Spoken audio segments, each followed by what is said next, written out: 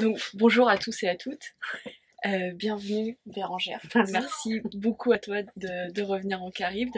Donc tu étais déjà venue en 2013 et on avait parlé avec Donatien Marie, euh, l'illustrateur de Palabre et, euh, et Chasse Lamite. On avait reparlé aussi de l'écorcobaliseur dans, dans la foulée.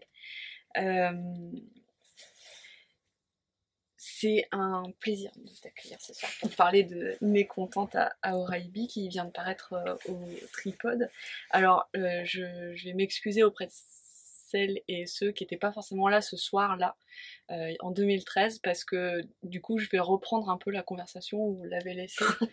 et puis, parce qu'il y a des questions qui, qui Enfin voilà, ça va ressembler un peu à des retrouvailles, mais à ce moment-là, tu étais encore en train d'écrire Nécontente à Oraibi, il y, a des, il y a des choses qui étaient arrivées sur le, sur le tapis en, au fil de la discussion, et, euh, et du coup, ça m'intéresse vachement de savoir euh, euh, le, le, chemin parcouru dans ta pensée ou ton écriture depuis, quoi.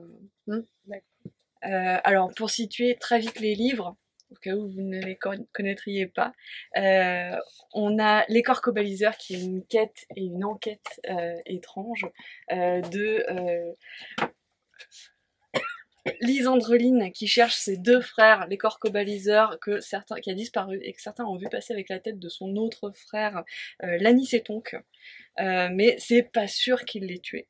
Euh, c'est, on est dans un monde qui pétille, euh, qui avec des, des mots étranges, qui est un monde maritime et des quelque chose de, de grands principes philosophiques comme ça qui qui pop. Il y a Palabre qui est coécrit avec Nicolas Teinturier euh, et illustré par, euh, superbement illustré par Donatien Marie, euh, qui est sorti officiellement sous la plume d'un Argentin inconnu et pour cause Urbano Moacir Expédité. Donc c'est là on est, on est dans une fable politique entre le Berlin des années 30 et euh, une Amérique latine euh, un peu fantasmée où euh, donc le héros qui s'appelle Hirsute, enfin l'anti-héros pardon, qui est une, voilà, une petite chose malingre qu'on trouve qu'on rencontre planqué dans un bordel berlinois qui va se retrouver en pleine guerre civile latino-américaine entre des Farougios et des Guardanais à la recherche de rousses à marier à des nazis en mal de descendance. Donc voilà pour le pour l'ambiance, c'est on passe du, du vaudeville au récit picaresque, c'est haut en couleur, c'est hyper drôle, c'est hyper énergique. Et puis il y a Chasse Lamite, un recueil euh, que j'avais trouvé adorable et bizarre, ou bizarre et adorable, je savais pas trop exactement. Euh, c'est 17 histoires très courtes, c'est presque des vignettes toutes super poétiques, euh, certaines absurdes, certaines cruelles, certaines drôles, d'autres juste émouvantes. C'est une poésie permanente euh, qui, qui, bouscule euh, la logique en fait pour, euh, pour le, plaisir des images qui, qui, naissent comme ça. Et enfin, Né contente à Oraibi, le, le, dernier paru, c'est en fait c'est un livre pas facile à raconter en, en réalité parce que c'est un regard, c'est c'est un morceau de, de du monde vu par les yeux d'une jeune indienne Hopi, les Indiens d'Arizona, euh, dont on va parler euh, pas mal, je pense, euh, après, qui s'appelle Tayatitawa. Oui, c'est ça. ce qui veut dire celle qui salue le soleil en riant. Et c'est un morceau de, de, ouais, d'énergie qui, difficile à raconter. C'est juste une tranche de vie en fait. Et, et, et pendant qu'on lit ça, on change nos yeux contre les siens, on change nos perceptions contre les siennes, et, et, le monde devient autre. Et, et c'est un récit qui est extrêmement simple, qu'on peut croire linéaire, euh, mais la perception est telle que le temps passe son temps à faire des boucles. Il euh, y, y, a des échappées dans le monde des rêves, dans le monde des esprits, dans des transes, des fièvres. Euh, quand j'ai lu le livre, moi, pour la première fois, j'ai dit à Lucie, euh, c'est pas du tout euh, Bérangère Cornu que je connaissais habituellement, c'est complètement autre chose, etc.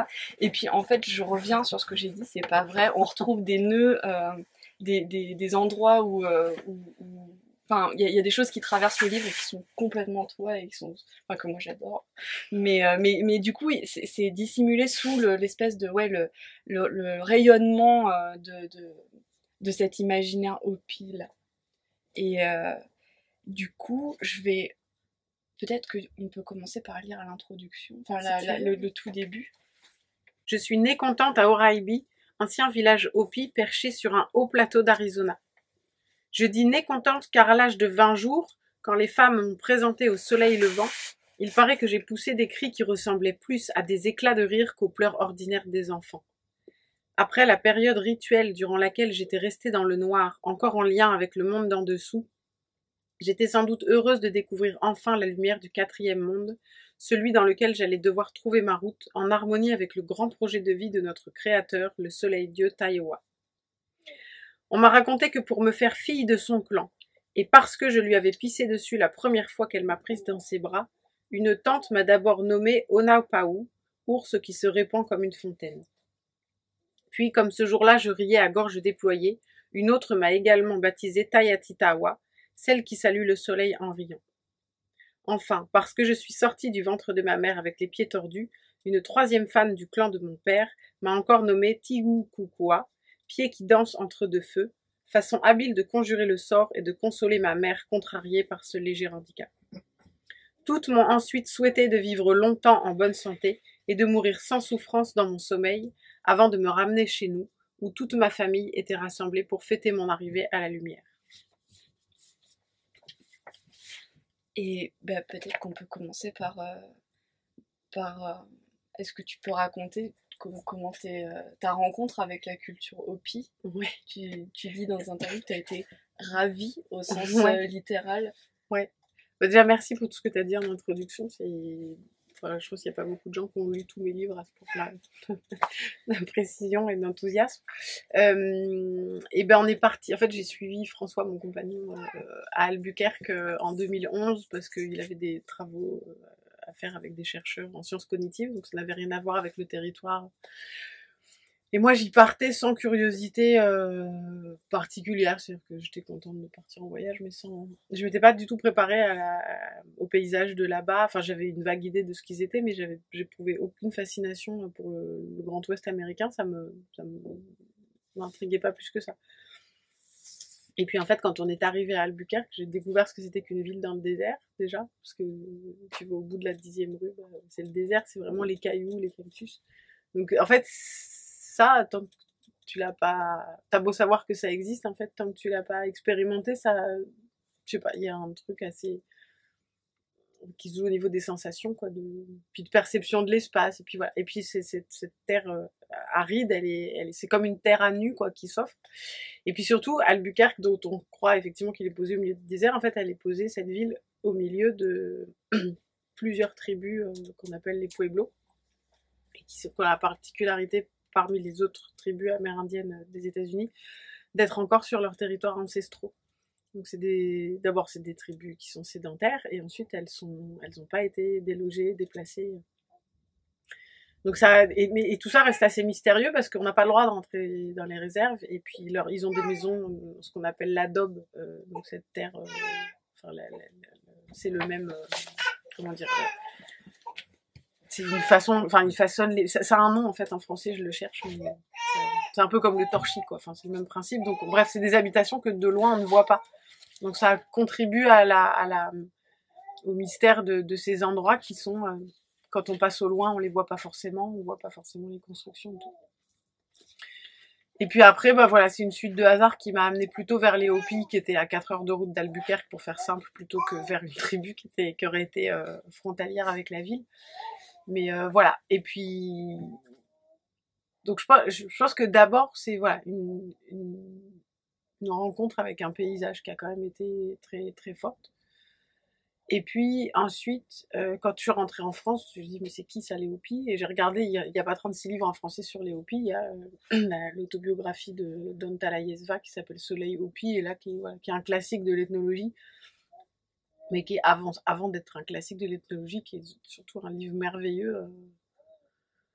Ben là encore, au sens fort du terme, euh, on en parlait hier avec une anthropologue et c'est ce qu'on disait, c'est-à-dire qu'il faut accepter quand ces gens de ces tribus-là, de ces peuples-là nous racontent leur vie, il faut accepter des choses qui sont pas du tout rationnelles pour nous et qui, à un moment donné, il raconte qu'il est allé dans la maison des morts, il est allé vraiment, il s'agit pas de, de penser qu'il a fait un rêve euh, et qu'il a eu un présage ou je ne sais quoi, il, il le raconte comme il a fait ce voyage dans la maison des morts, il a vu ses ancêtres, il a vu, voilà.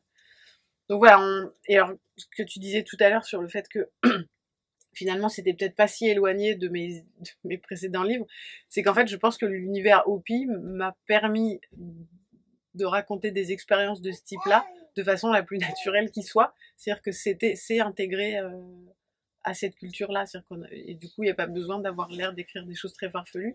On peut raconter ce genre d'expérience tout en restant euh, dans le quotidien de, de, de cette culture-là.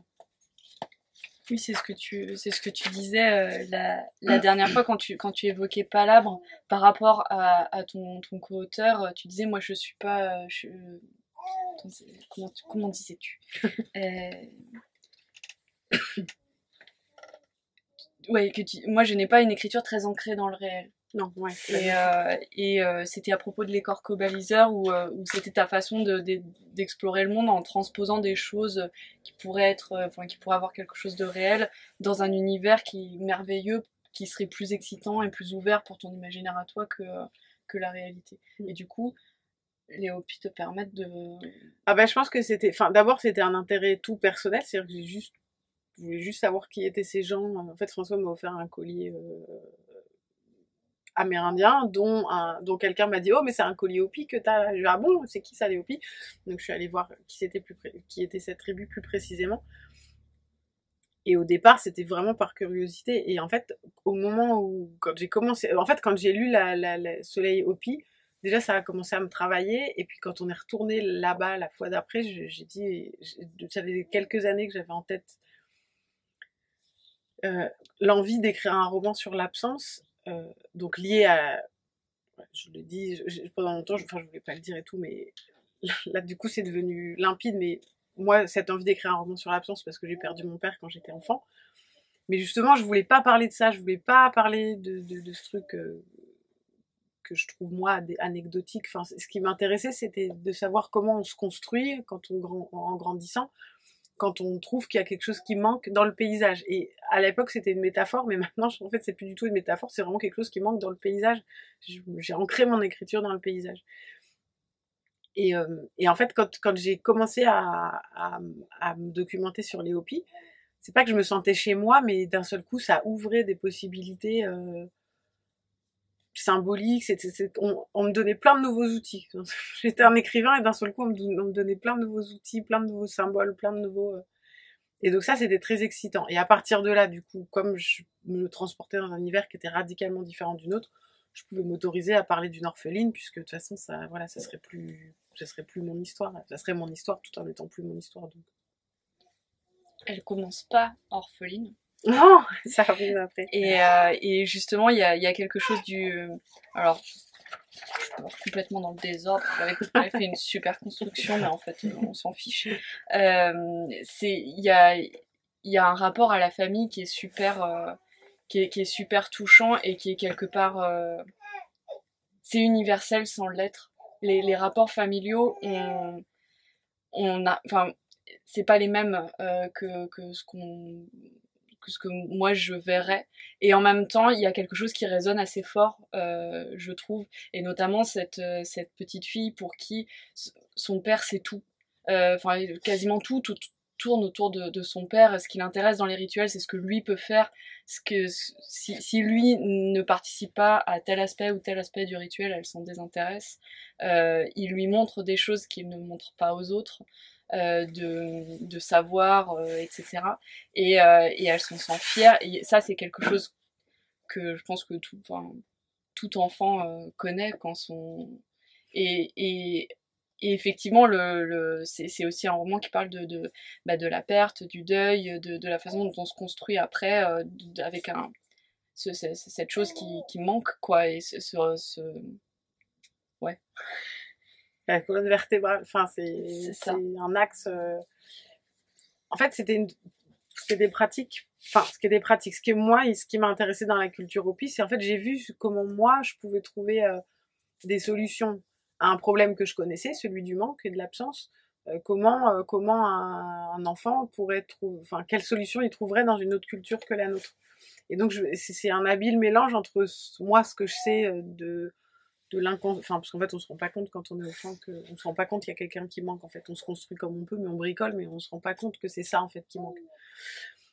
Et, euh, et, et, du coup, j'ai essayé de voir comment chez les Hopis ça pouvait se, se, se, combiner, ce, ce manque-là. Et par exemple, chez les Hopis, là, tu parlais des rituels on appartient au clan de sa mère. Donc finalement, si on perd son père, c'est pas tellement dramatique. On a tout ce qui, enfin, on, est surtout entouré par le clan de la mère. On habite dans le clan de la mère. On appartient au clan de la mère.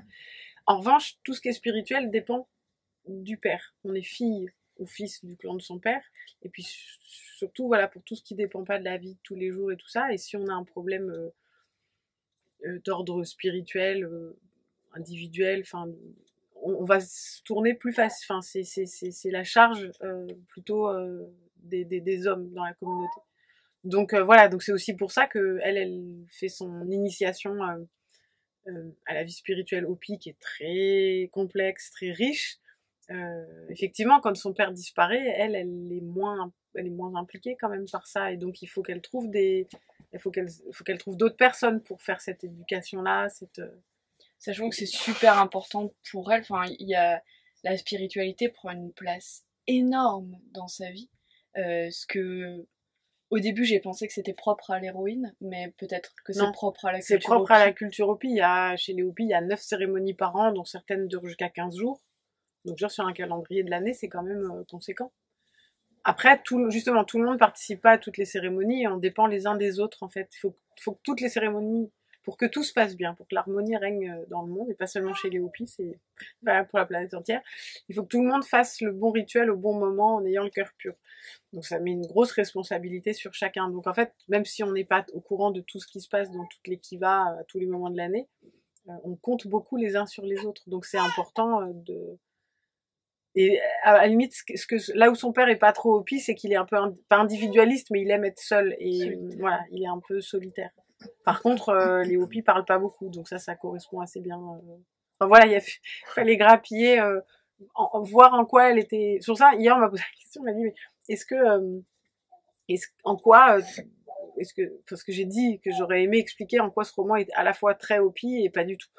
Et ben en fait, je crois que c'est pas moi qui peux dire. Moi, je sais ce que j'ai piqué de la culture Hopi, ce que j'ai réutilisé et tout, mais après, il y a des choses, je les ai complètement intégrées et il y a des choses, par exemple, que j'ai inventées. Donc ça, je sais qu'elles n'existent pas. Par exemple, elle, à un moment donné, elle a, enfin, longtemps dans le roman, elle a un problème de volonté vertébrale, qui est un truc un peu spécial. Enfin, c'est un peu bizarre. Ça s'approche d'une expérience. Enfin, elle le résout euh, avec une expérience proche, du chamanisme.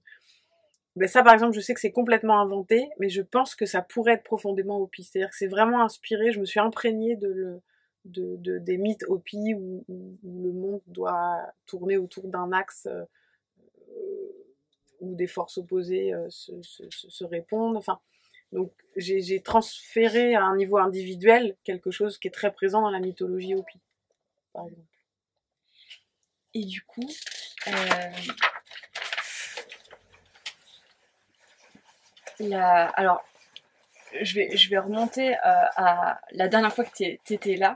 Euh, tu, en évoquant Palabre, tu disais que quelque part, en, jouant avec toutes les utopies du XXe siècle, en t'amusant, en, te réappropriant l'exploration de cultures euh, lointaines, tu étais retombé sans le vouloir sur des questions super contemporaines. Mm de euh, bah, notamment à partir de quel moment une culture minoritaire peut survivre, à quel prix. Euh, alors pour euh, resituer, dans, dans Palabre, on, on, rencontre les Faroudio qui sont un peuple qui fonctionne sur la parole, c'est-à-dire tout est dialogue, la rhétorique c'est du pouvoir. ceux qui parlent le mieux sont, sont, ceux qui, qui dirigent, etc. Et c'est une, civilisation qui jusqu'ici arrive à peu près à, éviter le conflit et la parole ne les sauvera pas euh, de ça finalement. Euh, et que je reprenne le fil. Du coup, à l'époque, tu disais déjà que ces questions euh, qui avaient émergé dans Palabre sur euh, la, confrontation entre une culture minoritaire et puis euh, de, une, autre, une autre culture plus, plus, plus ouais, agressive et, et ouais, je, je, sais pas comment dire autrement qu'agressive, peut, peut faire peut faire une simple confrontation en fait peut faire exploser le modèle interne de cette de, cette culture minoritaire et et par rapport au pi tu te posais la question de exposer euh, cette, cette culture-là, prendre la parole euh, pour, eux, etc. C'était quelque part euh, dangereux et, peut-être qu'ils étaient fragiles. J'avais déjà ces questionnements-là. Oui, bah, je les ai toujours et je suis, je suis, en fait, je suis pas encore complètement à l'aise euh, avec avec ça. C'est-à-dire que je sais que en tant qu'écrivain, j'ai le droit d'écrire des fictions. Euh, que par définition c'est de la fiction, donc je suis pas responsable. Euh. Et en même temps, je, voulais faire, j'ai fait les choses le plus consciencieusement possible, très rigoureusement. Donc, enfin, au point que le livre a été salué par un anthropologue parce que justement il y avait une façon, enfin, de tout. C'était pas un spécialiste des OPI, mais de ce que je connais des OPI, ça me paraît parfaitement fidèle, l'esprit est, là. Et à partir de là, c'est difficile parce que je, presque peur d'être, d'avoir colonisé en fait euh, la culture Hopi, puisque n'étant pas Hopi, je peux pas restituer quelque chose de Hopi.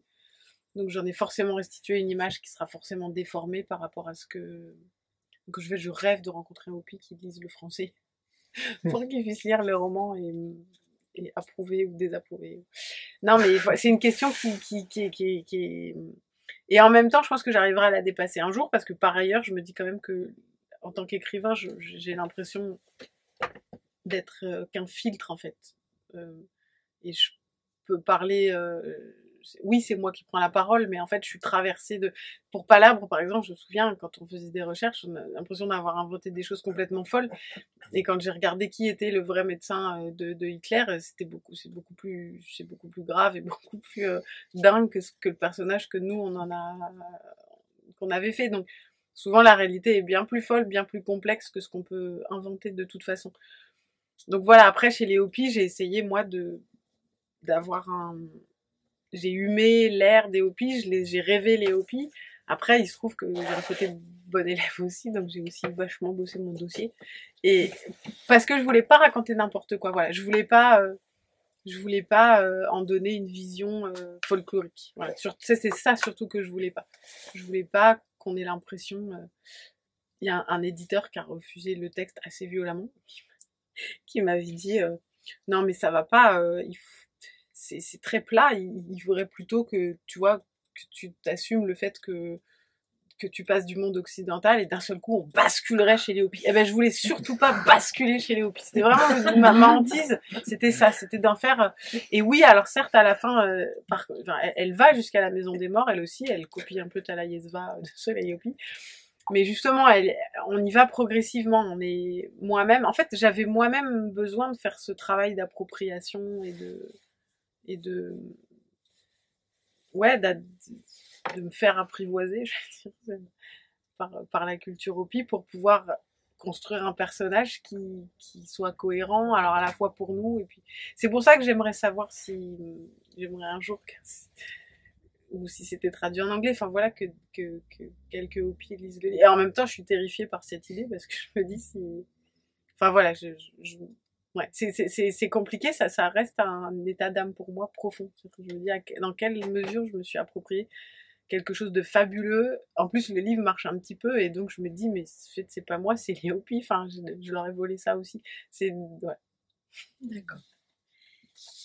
Et du coup, euh, quelque chose qui fonctionne très très joliment et qui justement peut-être évite ce, ce côté euh, on bascule euh, chez, chez Léopi, euh, c'est ce regard d'enfant. Euh, j'ai un ami qui, qui, qui l'a lu. Alors, il connaît pas plus que moi les, les Hopi, mais il disait c'est pas un roman sur les Hopi en fait. C'est un roman Hopi. Alors, ah, nous on peut pas juger, mais euh, il y a un côté, euh, il n'y a pas de recul, il n'y a pas, il a pas justement de, de, de, parler de quelque chose qui nous est, qui nous est tellement étranger.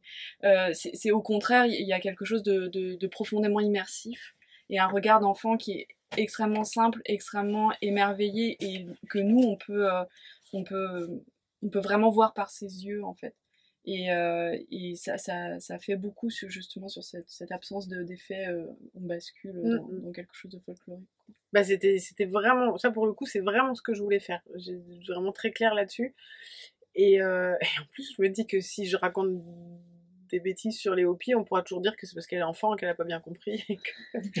Mais il y a, y a, cette, c'est un peu ça, c'est-à-dire que le personnage enfant, bah, il se trouve que ça correspondait à mon histoire, mais en plus il y a ce, il y a, y a, y a, oui, il y a cette dimension-là de, on découvre un peu ce que c'est que la société. C'est-à-dire qu'au début de la, de la, société Hopi, au début du roman, elle n'est pas encore initiée. Elle pense que les Kachinas sont des, des esprits euh, qui viennent les voir et elle découvre euh, qu'en fait ces, ces, ces Kachinas sont incarnés par des hommes. Mais enfin, elle, voilà, elle fait, on, découvre en même temps qu'elle, quoi. Moi-même, je découvrais en même temps. Et ça, c'est assez, assez chouette aussi parce qu'il y a, y a un côté. Euh, on, on, va suivre. C'est vraiment un roman initiatique, c'est-à-dire qu'elle elle grandit et, et, elle se construit. Euh, alors, j'ai vu dans des interviews tu parlais d'émancipation. Alors, je à la lecture, je l'ai pas compris comme ça parce que j'ai pas vu de contrainte en fait. Donc, il y avait vraiment plus quelque chose de l'ordre d'une ouverture sur le monde, d'un regard qui se, qui se construit à force de se poser sur le monde et puis qui s'élargit petit à petit, plus qu'une façon de, de, de, lutter contre une, contre une contrainte. Mais après, peut-être que je l'ai pas vu. Euh.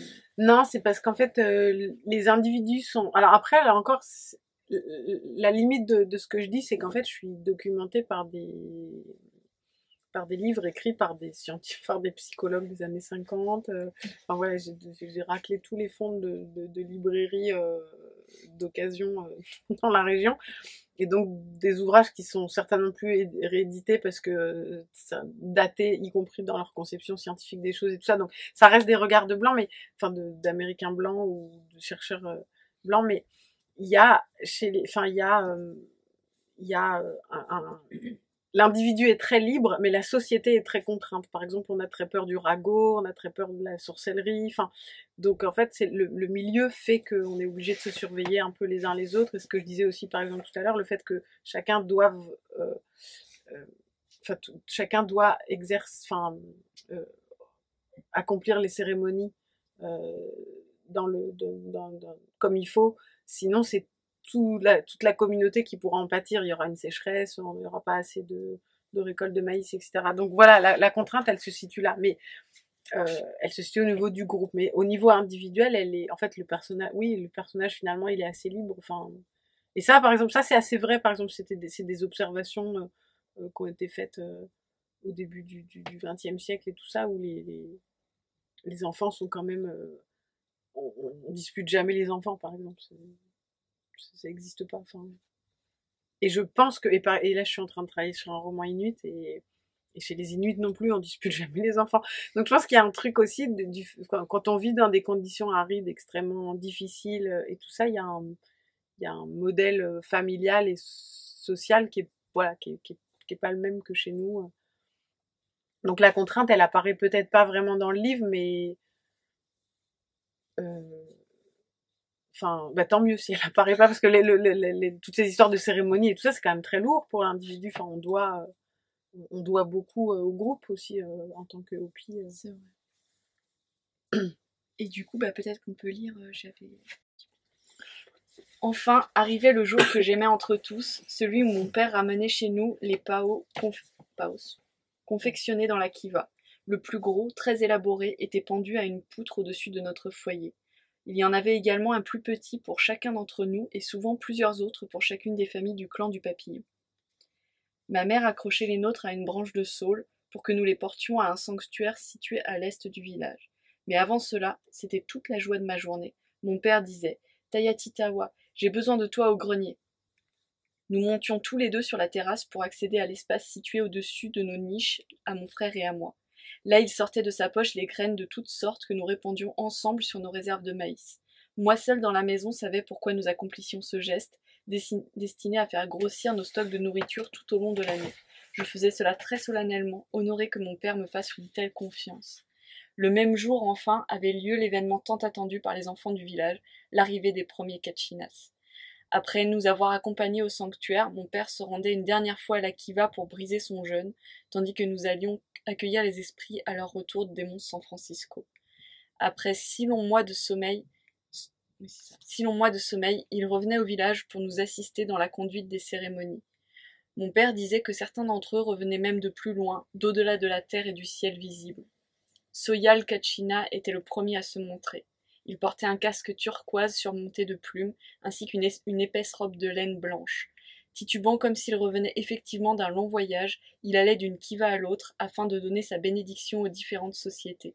Il chantait à voix basse et déposait de la semoule de maïs sur les murs. Nous le suivions en silence, presque à la dérobée, pour ne pas troubler son action bienfaisante et mystérieuse. Venait ensuite le, le Gachina Mastop, que je préférais ne pas approcher. Avec son masque noir, ses peintures noires seulement ornées de mains blanches ici et là, il me faisait froid dans le dos. Je n'aimais pas le bâton dont il frappait les chiens, et j'aimais encore moins la façon qu'il avait de se frotter aux femmes. N'aie pas peur, disait ma mère. Mastop est bon parce qu'il nous aide à avoir des enfants. Était-ce parce que, frappant les chiens qui hurlaient, il permettait aux gens de mieux dormir? Tout le monde sait, ce que les, enfants se font la nuit. Je préférais en tout cas les esprits qui apparaissaient plus tard dans l'après-midi. Les clowns Koyemsi, dit, aussi tête debout, avaient la, la figure informe et sans expression des gens d'avant l'émergence. Tout en marmonnant des choses incompréhensibles, ils me semblaient cent fois plus proches que n'importe lesquels des autres Kachina. Toujours prêts à jouer, ils nous tendaient des bâtons recouverts de peau de lapin très douce qu'ils finissaient par nous céder en même temps que de petits paquets de maïs sucré. Tous les enfants du village leur couraient après pour avoir davantage de maïs et jouer encore. Cette parade durait jusqu'à ce que le soleil touche l'horizon, puis les têtes debout rejoignaient les autres kachinas dans les kivas. Ma mère, mon frère et moi rentrions alors nous mettre au chaud à la maison, où mon père nous attendait déjà, fatigué des nombreuses veillées de Soyal, mais soulagé de voir le village commencer un nouveau cycle sous la protection des esprits. Et effectivement, au début, on est dans quelque, chose de complètement fantastique parce que elle, elle, elle, voit les esprits. Et puis petit à petit, elle voit les masques portés par des hommes. Mais ça n'empêche pas que, enfin, ce, que, ce, qui est, très beau dans cette, initiation, c'est qu'elle perd petit à petit son regard d'enfant, mais son, regard de grande reste magique. Il euh, y, a, y a quelque chose de... Elle, elle perd pas sa, elle perd pas sa magie et, le regard qu'elle pose sur le monde reste euh, distordu par rapport à ce que, euh, à ce que, à ce que nous on pourrait s'attendre. Il y a, y a, quelque chose de, on devine dans, dans le livre des, des, une pauvreté réelle. Euh, il y, a, y, a, des problèmes de, il y aura pas assez de bras pour pour récupérer le maïs, pour, pour, le, pour, pour les récoltes, etc. Il y a, y a, des problèmes durs de, de maladie. Il y a des problèmes de la mort du père, il y a, y a des choses euh, qui sont hein, voilà, assez, tragiques, il y a peu d'enfants. Euh, et en même temps, c'est quelque chose qui n'est pas. qui, qui n'a pas tant de sens que ça. Qui est, euh, enfin, il y, a, un côté euh, très. Euh, c'est matériel et c'est pas si important que ça. Et, et, et chaque, chaque personnage a, beaucoup, beaucoup de ressources et est beaucoup tourné vers ouais, les esprits, l'énergie, le ciel, les, les, histoires, le rêve, et, et, ça, ça donne une force qui est assez, euh, qui est assez incroyable en fait, qui, est, euh, qui, qui, qui, se dégage du roman et qui est. Et ben ça c'est Opi par exemple.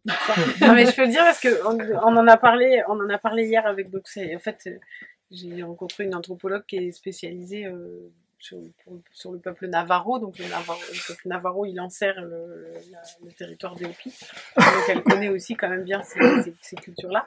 Et, euh, et ce qu'elle disait, euh, c'est que euh, nous, ces, ces, territoires et ces peuples nous paraissent très pauvres, enfin les Hopis plus que les Navarros ont talent certains pour l'économie américaine. Mais, euh, mais en fait, pour eux, ils n'ont pas l'impression de manquer de quoi que ce soit. Enfin, je veux dire, euh, la première fois que j'ai vu ce que c'était qu'un champ de maïs, en fait, je, je n'avais pas vu que c'était un champ de maïs parce qu'il y a un plant de maïs tous les un mètre à peu près. Donc, par rapport à ce que nous, on, on nous, on cultive un maïs qui demande énormément d'eau. Enfin, c'est c'est même anti-écologique, je crois, mais eux, ils arrivent à faire pousser des plants de maïs, alors effectivement, avec la rosée. Donc en fait, un champ de maïs, euh, moi j'avais l'impression que c'était juste un terrain vague, enfin, et avec deux, trois arbustes, enfin, non, c'est ça un champ de maïs. Et, euh, et, pour eux, alors oui, ils vivent dans des conditions, alors c'est un peu différent aujourd'hui, bien sûr, parce que ils font, ils vivent pas de leur récolte de maïs et tout, mais enfin, sur la, sur le territoire euh, qui est maintenant une réserve, mais la vie reste relativement encore, euh, voilà, parce qu'elle était euh, il y a encore 150 ans, mais enfin, je veux dire, il y a encore beaucoup de choses qui sont pas folkloriques. Ils cultivent du maïs pour faire de la farine de maïs, bleu, et ça, elle, est utilisée, elle est mangée, enfin bref. et donc, eux n'ont pas cette impression de pauvreté et d'aridité. Et sur le côté euh, de ce que tu évoqué, le fait que le personnage, même une fois qu'il avait grandi, même une fois qu'il savait que, que les Kachina étaient incarnés par des hommes, et qu'elle gardait une vision euh, magique du paysage et tout, mais ça c'est profondément vrai aussi, c'est-à-dire que pour les Hopi, euh, les, lieux sont habités par les esprits euh, quasiment tout le temps, et un, rocher qui a une forme de femme de sel, par exemple, euh, est une femme de sel. Donc en fait, on n'est pas seul dans le paysage. Tous les endroits sont habités. Je pense qu'on on, doit trouver ça aussi. Enfin, c'est peut-être plus évident pour nous d'imaginer que les peuples qui vivent dans la forêt en Équateur ou je sais pas où euh, parce qu'évidemment la, forêt la vie est foisonnante le lieu est profondément habité on peut l'imaginer parce qu'il y a les bruits des animaux euh, et tout ça, mais c'est un peu la même chose euh, sur le territoire Hopi. Ça a beau être un peu désertique au premier abord, c'est sûr que si on, on, fait que traverser avaler le ruban d'asphalte en voiture, on, a l'impression que c'est que des cailloux. Mais si on reste un peu dans le territoire, on s'aperçoit qu'en fait, par tous les contes et, toutes les histoires et le fait qu'il y ait des sanctuaires euh, à des endroits précis un peu partout sur ce paysage, en fait, le paysage est habité partout. Euh, par les esprits euh, des anciens, par les esprits Kachina. je pense à ça parce que ça, pour le coup, c'est un témoignage contemporain. Une, une femme Hopi qui perd son, elle perd son frère ou son oncle, je sais plus, et le, jour des obsèques, euh, elle, est dans son 4x4, elle va, passe d'un village à l'autre, et, la pluie se met à tomber. Pour elle, ça ne fait aucun doute que ce, nuage-là, c'est son frère qui vient lui dire quelque chose de précis. Donc voilà, tous les signes peuvent être, euh, tout est habité en fait, euh, aussi bien les nuages que le paysage, que les sanctuaires, que c'est une communion très forte entre les hommes et la nature brute, la terre-mère.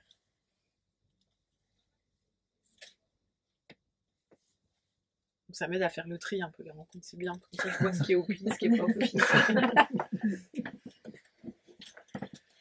mais, euh, mais, et du coup, euh, le, le, le regard d'enfant, c'est quelque chose, enfin, le, le côté enfantin, c'est quelque chose que tu, tu avais déjà dans, euh, dans Chasse Lamite notamment, dans les corcobaliseurs un peu. Il y a, il y a avec un côté euh, conte très dépouillé, très simple, et euh, avec voilà des éléments comme ça qui, arrivent sans explication. Et, et on n'a pas besoin qu'on nous explique, juste on les accepte. Et est-ce que tu as fonctionné pareil sur, sur Mécontente bah, Peut-être encore plus en fait. Pareil, l'éditeur j'étais le texte, je disais c'est plat, c'est très plat. Je merde, c'est vrai, c'est plat. En fait, euh, c'est parce que euh, justement, je voulais pas faire des groupes. Les Hopis sont un peuple très modeste, très discret. Euh, alors pour des raisons, enfin c'est caractéristique de, du, peuple, mais aussi il faut pas trop attirer l'attention sur soi. C'est culturellement, c'est pas c'est pas poli et en plus de toute façon ça vous apportera pas de bonnes choses.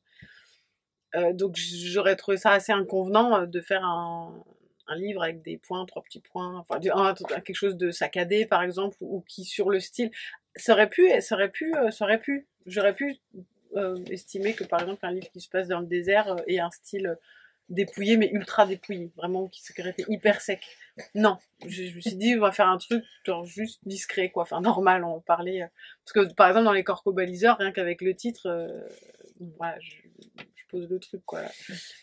Après, le style est plus, enfin, moi je le trouve pas non plus très, enfin, moi je sais qu'il y a des lecteurs qui ont été malmenés par les corcobaliseurs, mais je, je, vois pas où tu veux en venir. Enfin, je, mais je pense avec la langue. Voilà, je m'amuse plus avec la langue. Ici, je me suis pas amusée avec la langue, parce que déjà, quand on voit ce que c'est la langue au pire, on n'a pas du tout envie de s'amuser avec. C'est agglutinant, c'est épouvantable, on peut rien comprendre. Enfin, voilà, à moins d'étudier ça pendant 10-12 ans, je, pense qu'il n'y a pas moyen.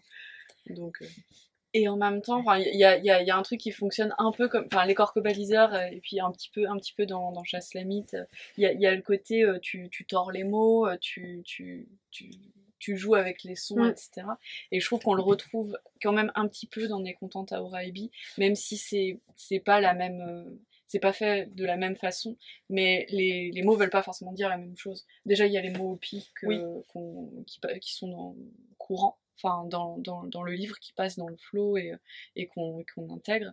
Et puis il, il y a des choses qui veulent juste dire autre chose. Le clan du papillon, voilà, si, si, c'est juste deux mots très simples, mais là, ça désigne quelque chose de, de, de particulier. très différente. Ouais, tout à fait. Mais justement, et donc je pouvais pas me permettre, moi, de rajouter mon grain de sel là-dedans. si, si moi, je commençais à jouer, moi aussi, avec les mots, on allait plus savoir euh, qui était quoi, et ça, du coup, ça, ça, ça me faisait dévier de mon de mon projet qui était celui d'une immersion la plus honnête possible. Après voilà, très sincèrement, enfin je ne pas avoir l'air de, de flageller là, mais je, je, il y avait cette volonté de pas trahir non plus, donc je voulais pas faire n'importe quoi avec la réalité euh, des Hopis. Euh.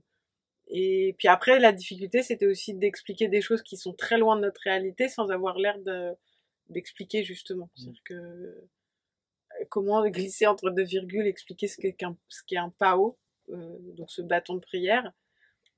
J'aurais pu dire bâton de prière parce que ça évoque déjà quelque chose euh, pour le lecteur, mais mais, mais c'est long bâton de prière et puis et puis c'est le, le, mot opi est tellement plus simple pour dire ça donc il faut donc il faut arriver la première fois à, à mettre entre deux virgules que ce que c'est sans avoir l'air trop de l'expliquer euh, et arriver à faire sentir que oui c'est lié à la farine de maïs et puis aux esprits et que plus qu'un petit objet, c'est une offrande qui a une forme matérielle, mais qui a aussi un rôle très important euh, pour, pour, plus que, que la personne qui le pose. Enfin bref, euh, il fallait arriver à faire passer tout ça, euh, voilà, sans avoir l'air de l'expliquer. C'était donc j'avais déjà pas mal de boulot, j'avais pas en plus rajouter des trucs de style et tout ça c'était pas le propos.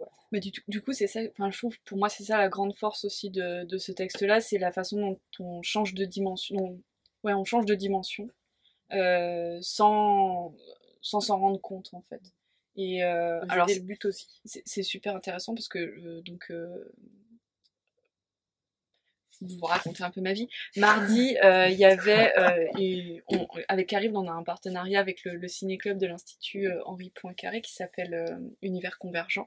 Et donc, il passe un film, et puis après, il y a un débat avec des, scientifiques, enfin, oui, des scientifiques, et, et moi, je présente des livres en, en rapport. Et la, le film, c'était un film japonais qui s'appelle Real. Et, et il y avait une neuro euh, je sais pas comment, neuroscientifique, bref, neurologue, ça peut. Une chercheuse en neurosciences. Et euh, un, une euh, dame qui s'appelle Corinne Sombrin, qui, elle, a fait, euh, alors était à l'autre bout euh, du, du, monde en Mongolie et a fait pendant des années des recherches sur la transe chamanique.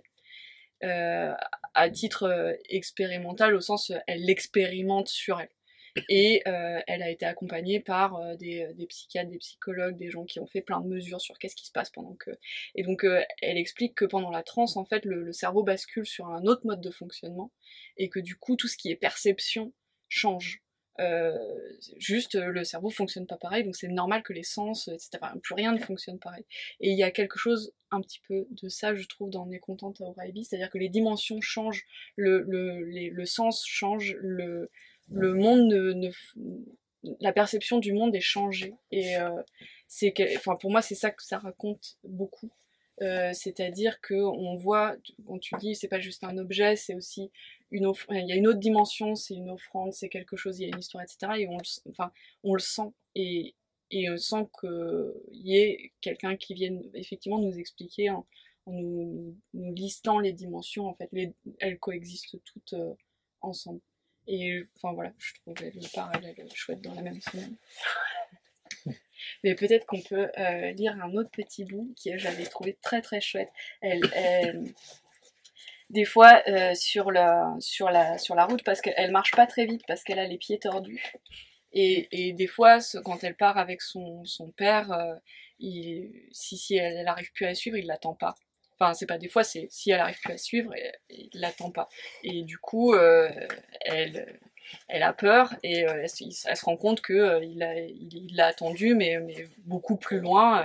Il, attend qu'elle arrive pour que. Et, il lui raconte des histoires d'enfants perdus pour la distraire. Mais ça la marque. Les nuits suivantes, à cause de ces histoires d'enfants perdus ou volés, il m'arrivait de faire des cauchemars dont ma grand-mère, ah, c'est le piège, il faut que je prononce les noms, je sais les écrire, je ne sais pas les prononcer. Donc, dont ma grand-mère Onaokia devait me guérir. Onaokia n'était pas ma vraie grand-mère, mais appartenait au puissant clan du blaireau, frère de celui du papillon, réputé pour sa grande connaissance des plantes.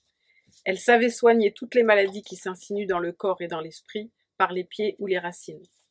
Les mauvais rêves en faisaient partie. Quand les cauchemars duraient trop longtemps, ma mère me conduisait chez elle à Moine Copie. C'était à plus d'une journée de marche de Raibi, et je devais rester là-bas quelques jours ou quelques semaines, le temps nécessaire à ma guérison. Pour apaiser mes nuits, Ona Opokia me donnait toutes sortes de, de décoctions, de tisanes, et me faisait dormir avec elle sur sa couverture. Elle ronflait, mais j'aimais son odeur de maïs sucré. N'ayant jamais eu d'enfant, elle s'occupait de moi comme de sa propre fille. La journée, elle m'apprenait à faire la bouillie et le ragoût à la mode de chez elle et à tresser de tout petits paniers pour les poupées Kachina. Nous nous entendions bien, si bien que même quand les cauchemars étaient passés, nous n'étions pas pressés de nous quitter. Lorsque ma mère demandait à quelqu'un de Raibi qui passait par Moine Copie de me ramener à la maison, Ona Ookia répondait Et qu'est-ce qui me prouve que tu n'es pas un ogre déguisé en Hopi Si le clan du papillon veut récupérer sa fille, qu'il vienne la chercher lui-même. Le messager repartait en riant sous mes pieds de nez, jusqu'à ce que le messager soit finalement mon père. Là, Ona Ookia ne disait rien car elle savait que ces séjours prolongés ne lui plaisaient guère. Mon père respectait ma grand-mère et le clan du blaireau, mais il avait dit une fois qu'on ne devait pas chercher à me guérir de mes rêves. Ona Ookia avait acquiescé, en assurant qu'elle ne cherchait à me guérir que de mes peurs. Sur le chemin du retour, ne se doutant pas que mes cauchemars puissent venir de ces histoires d'enfants volés, mon père voulait savoir quel genre de rêve avait poussé ma mère à me conduire chez Ona Okia. Je lui racontais alors les immenses vagues qui s'abattaient sur le, sur le village et m'emportaient au loin sans espoir de retour, ou bien au contraire celles qui emportaient tout le monde sauf moi, me laissant seule, isolée sur l'immense île de Nomesa. De Nomesa. Parfois c'était encore une voûte d'eau qui se formait au-dessus de notre seule maison, où nous vivions alors tous les quatre coupés du monde. Il faisait clair sous cette voûte, mais elle finissait par céder et nous étions entraînés dans des profondeurs noires et inconnues qui immanquablement me réveillaient en sursaut. Autant ma mère était effrayée par ce genre de récit, autant mon père s'en délectait. Il n'entendait pas ma peur, mais seulement l'eau, l'eau, l'eau qui dans mon esprit coulait à flot sur nos mésas. Pour lui, c'était un signe de fertilité pour notre peuple.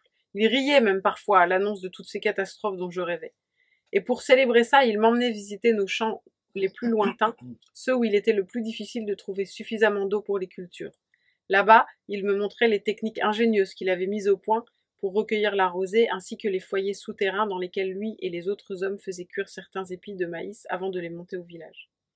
J'étais peut-être la seule fille d'Oraibi à qui son père montrait ces choses. Cela finissait de me consoler de mes terreurs aussi sûrement que les tisanes d'Onaokia. C'est. Et alors, moi, j'ai fait un peu le tour de, des questions. Est-ce que vous, vous avez des questions par rapport à, ce livre ou à d'autres? Moi, j'ai peut-être raté un, truc au début, mais ça, se passe à quelle époque? Ça se passe de nos jours ou c'est euh, ça En fait, tous mes livres, les corcobaliseurs, c'est pareil. En fait, autant, j'ai des idées précises des endroits où ça se passe, autant je, je, ça se passe toujours une espèce de hors temps. Alors, il y a quand même euh, voilà il y a des indicateurs euh, temporels qui font là par exemple il n'y a pas de voiture il n'y a pas de ça pourrait se situer en fait ça se situe au moment où mes sources euh, se situent c'est-à-dire on pourrait dire que c'est à la fin du 19e mais mais par exemple il y a, ce serait une fin du 19e où il n'y aurait pas de blanc qui serait encore arrivé en Amérique par exemple. Parce que voilà il y a un seul blanc dans le dans le dans le dans le livre mais en fait, il, correspond à la mythologie Hopi où, au moment donné, au moment où le peuple Hopi, parce qu'en fait, on est dans le quatrième monde, puisqu'à chaque fois, on, arrive dans le monde suivant par un trou au fond du Grand Canyon, à peu près. Et, donc, là, quand on est arrivé dans le quatrième monde, les Hopi sont partis euh, dans une direction et ils avaient un frère blanc qu'on appelle Pahana. Et donc, le seul blanc qui réapparaît un peu dans le livre, c'est pas Pahana, c'est pas ce dieu-là, mais il, est très conforme à, à cette personnalité de la mythologie au Il n'y a pas d'autres blancs. Alors, en même temps, si, parce que des fois, ils apprennent l'anglais. Ça, s'appelle pas l'anglais, mais ils disent que c'est des mots très ridicules pour dire des choses très simples. Et c'est une façon aussi, parce que moi, j'ai alors j'ai un, un, dictionnaire OPI euh, qui fait mille et quelques pages, mais qui, attention, qui ne s'applique qu'au qu'au OPI parlé sur la troisième messa, et non pas sur la deuxième et la première. Mais euh, voilà, c'est en fait ce qu'on appelle des langues agglutinantes, donc c'est des mots assez longs ou alors, enfin, des mots assez courts, mais les réalités que la langue recouvre sont tellement différentes de nos réalités que pour traduire un terme d'une langue à l'autre, on est obligé de faire des périphrases. Euh, Et ce que je disais, justement, par rapport à la langue, je pense que la, meilleure façon, peut-être, de s'immerger dans une culture, ce serait d'apprendre la langue, en fait, puisque. Euh, et, pas dans l'optique de, de, de, de, parler euh, à son garagiste, mais dans l'optique de, de lire les textes en langue originale, par exemple, parce qu'on verrait à quel point euh, on parle de choses différentes. En fait, c'est pas seulement que la langue est, sont éloignées les unes des autres, c'est que on parle pas des mêmes choses. Vous allez retrouver ça dans le roman Inuit, alors euh ah bah, Je suis en plein là-dedans, euh, effectivement. Et du coup, tu peux nous en parler un petit peu? Euh, Bah oui, c'est c'est super. Ça va être mieux Enfin, déjà, le roman Ophi a une espèce de...